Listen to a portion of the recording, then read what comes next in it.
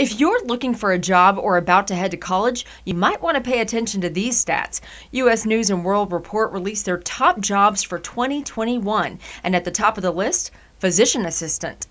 Here's another stat. Over the past three years, Hardin Simmons University has a 100% pass rate in its physician assistant program and other top notch healthcare programs, like physical therapy and nurse practitioner, putting these students in prime position to land those jobs. We are proud to say that uh, for the past two years, the PA program has achieved 100% pass rate on the boards. Uh, this is an incredible accomplishment, especially for a new program. And it, it, means that, you know, our students are ready. They are ready to go out there and start caring for patients, to start caring for you and your family members. In fact, many of these students have been offered jobs before they even graduate, like HSU student Darby Thornton. It was about a week before graduation that I got the job offer and I still cannot believe that I have the opportunity to work this amazing career at Hendrick ER.